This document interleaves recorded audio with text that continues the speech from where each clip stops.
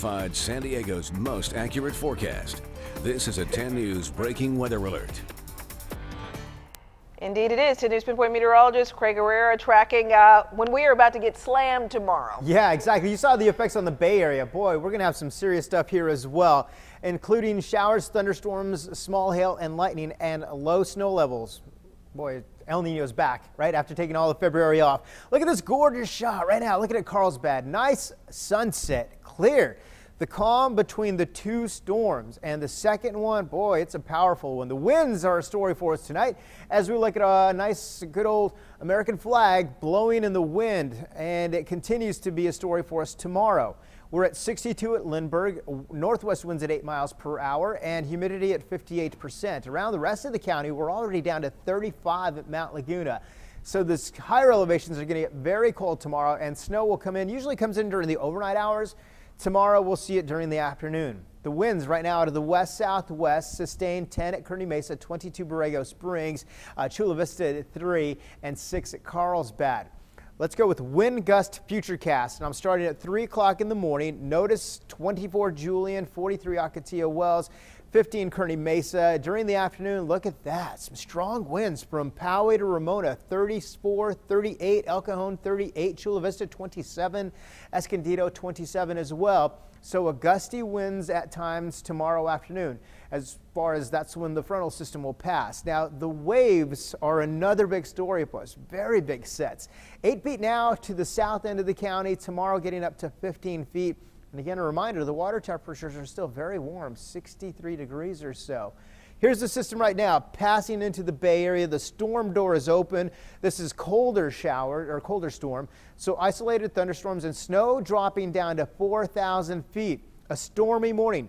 The morning commute tomorrow. Off and on scattered rain showers. I think the frontal system itself passes during about 10 in the morning to about 2 in the afternoon.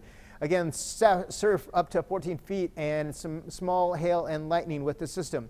Rain futurecast 1230 tomorrow or in the morning you know, scattered and very light. 8 o'clock, you can see some scattered showers west of the mountains. That's the frontal system right there. Watch as we go through 10, 11 o'clock. 11 o'clock, you're seeing some heavy rains, Santee, Chula Vista, and I think we can see some embedded showers and thunderstorms there, as well as snow for the higher elevations. That's 10:30 in the morning this thing passes. By the time we get into the evening commute, most of this is gone. 3 p.m. I mean, this could all change. Most of this is all gone.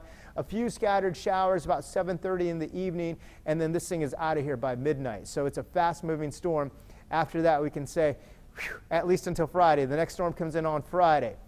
All right, rain futurecast. This is going into Tuesday. Poway up to an inch of rain. At Chula Vista the same. Julian a little over an inch and a quarter, about an inch and a half from Mount Laguna. Uh, along the coast anywhere from half an inch to about an inch and a half. Tonight we drop to 33 Julian, 27 Mount Laguna, 43 El Cajon, Chula Vista 47. Your extended forecast at the coast, only 58 for a high along the coast. Now, our temperatures tomorrow are pretty uniform from the coast to the inland communities. On Tuesday, we get sunshine. We're back up to 62. We stay sunny and warm Wednesday, Thursday, and Friday, and then another weak system comes in on Saturday. Gives us a chance for a few more showers, another quarter of an inch to half an inch, so not powerful like we're getting today. Showers and thunderstorms again. Only 59 for a high tomorrow inland. Look at that. We're back up to 70 on Tuesday, 75 on Wednesday, 76 on Thursday. It's like nothing happened at all, right? 42 for the mountains tomorrow, 58 for the deserts. So, Ria, we should get some good rainfall with this one. Again, it's a fast moving system. The one Friday, not so much. But boy, good. So mostly in the morning, in the midday, and yeah. then and then and then scattered and isolated for the commute home. Not as strong. Okay, yeah. great. Good Thanks timing.